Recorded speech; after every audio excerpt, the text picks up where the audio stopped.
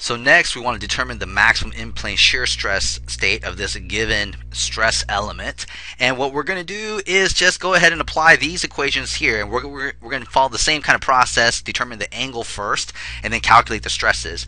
The one thing to remember in the maximum in-plane shear stress state is that all the normal stresses going around the stress element is that sigma average is the normal stress on each face, which is just simply sigma x plus sigma y divided by 2. Let's go ahead and do that. And the first thing I want to do is calculate the angle using this relationship right here. And that would tell me that tangent to theta s is equal to negative 1 half. If I bust the inverse tangent, I would get negative 26.56 degrees, which is the same as 26.56 degrees going clockwise. Theta s would just be 13.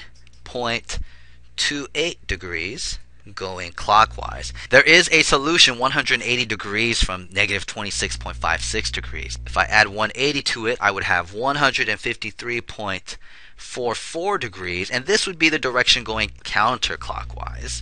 And here, this would also be divided by 2, would be 76.72 degrees going counterclockwise. But the reality is, in this problem, you only need one angle because the shear stresses on each side are the same. So tau max now, and I would venture to you that you've already solved this out or before if you've calculated the principal stresses. And if we look back up above, you notice that this term right here looks exactly the same as what was done right here they are identical.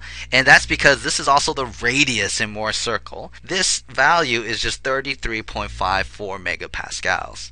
So tau max is 33.54 megapascals. Sigma average is just sigma x plus sigma y divided by 2. And technically, you've also calculated this before, which was up here. This is sigma average. There you have it. You've got the shear stress, the normal stress, and the angles associated with it. And so all I've got to do now is draw my representative volume element. And I start that by drawing a line representing my zero degrees, which in this case was horizontal. And the face I want to look at is 13.28 degrees going clockwise. So I'm going to go down 13.28 degrees. And now I, am going to complete the square or draw a square, first line being perpendicular to this 13.28 degree axis. And on this face, I have a positive 33.54 megapascals as my shear. And notice this is my new x prime. And keeping a right hand coordinate system, my y prime will also follow in this kind of go along for the ride, if you will. And that means on this face here, my positive shear stress on the positive x direction would be in the positive y direction, y prime axis. So that means my shear stress goes like this. And the normal stress on all the sides is 5 megapascals, which means I have tension on each face.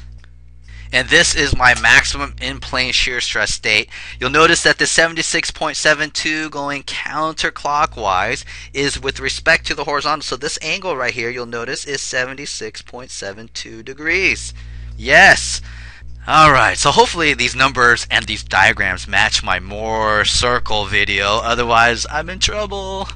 But take it easy and let me know if you have any questions